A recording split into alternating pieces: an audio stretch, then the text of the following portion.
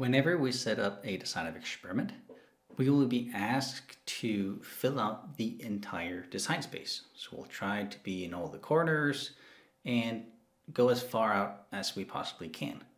But we can easily have situations where some of our factors cannot be combined at both their maximums, both their minimums, and we call these factor constraints. And those are actually pretty easy to add when we're using JMP. In this design of experiment, I have a single response and I have three factors. These factors are two continuous and a single categorical. So for the continuous, I have the temperature in the process and the pressure in the process. And then I have whether there was an ultra high temperature treatment of this afterwards.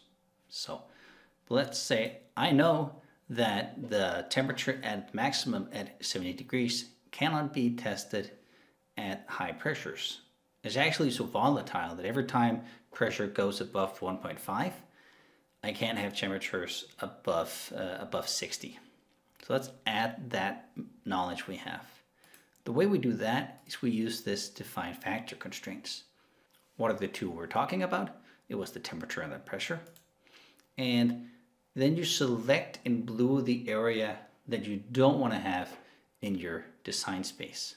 So I said that any for any pressures above 1.5, I do not want temperatures above 60. So the blue area is what I don't want to see. Make design.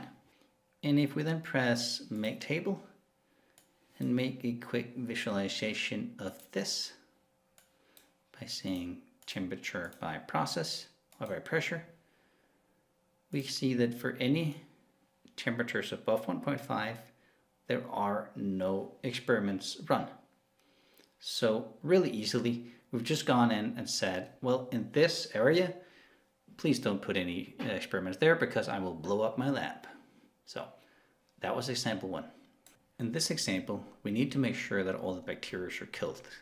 So either we need to have temperatures above 60 in the process, or it has to have a UHT treatment afterwards. So to do that, again, we go to disallowed combination filter. I say temperature in UHT, press plus, and again, I'm selecting the area that I wanted to not have in my design space. So that where areas where there's no, I don't want to have anything between 50 and 60.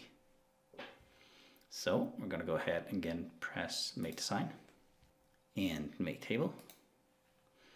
And doing the same visualization as before, we do a graph builder. We take the temperature in the process by the temperature UHT, and we can easily see that the area that is no have no uh, low temperatures. So in this, we're ensuring that either they're killed by having a high temperature or they have a uh, yes to the treatment.